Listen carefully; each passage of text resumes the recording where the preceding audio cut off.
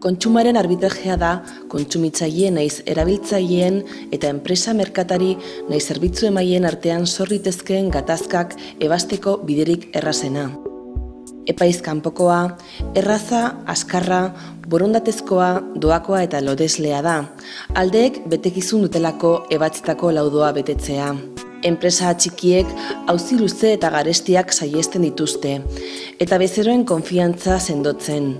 Horrez gain, bereizgarri hori beren iragarki eta erakus lehioetan jarri dezakete, eta enpresa txikien erroldan agertzen dira. Erroldain zuzen, kontsumobideren webgunean kontsultatu daiteke. Webgunean oro bat jakin dezakezu zer urrats eman behar diren atxikitzeko eta bezeroei zure establezimenduan egindako erosketetan berme gehigarri bat eskaintzeko. Kontsumo arbitrajea, kontsumo gatazkak ebasteko biderik errazena da.